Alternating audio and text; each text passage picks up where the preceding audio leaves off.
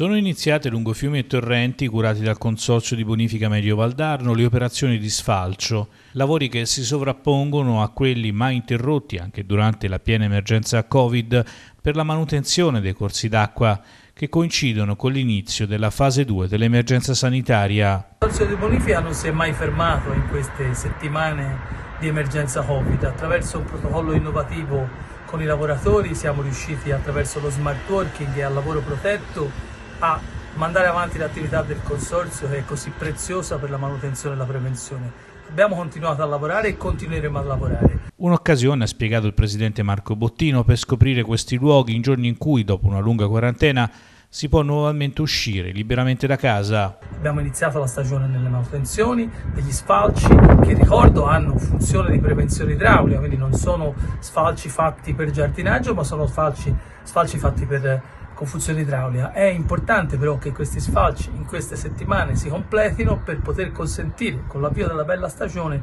la frequentazione degli argini da parte delle persone in totale sicurezza.